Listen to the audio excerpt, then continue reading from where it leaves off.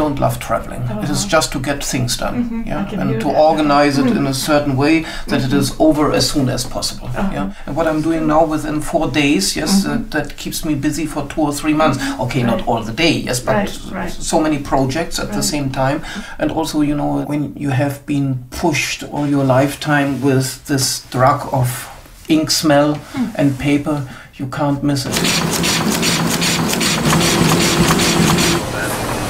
Okay, but Does do- it look good?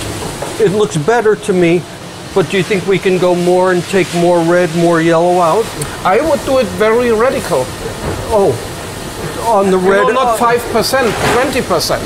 on the red and the yellow, across the board. Yeah. And what about the midtones? Fuck the midtones. The, the, the whole thing is. I, I could do that, but it might not be very satisfying.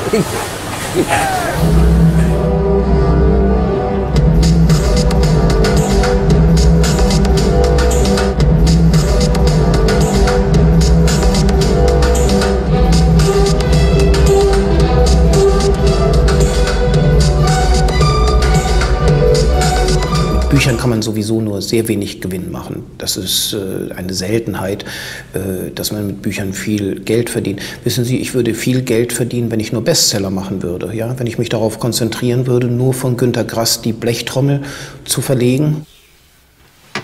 ist besser. Besser, ja. Und Robert Frank, The Americans. And smell it, it smells really good. Ja, ja, this is the your, Wirst du your süchtig? perfume. Ja, mein Parfüm. Yeah, yeah. dann wäre ich wahrscheinlich Millionär.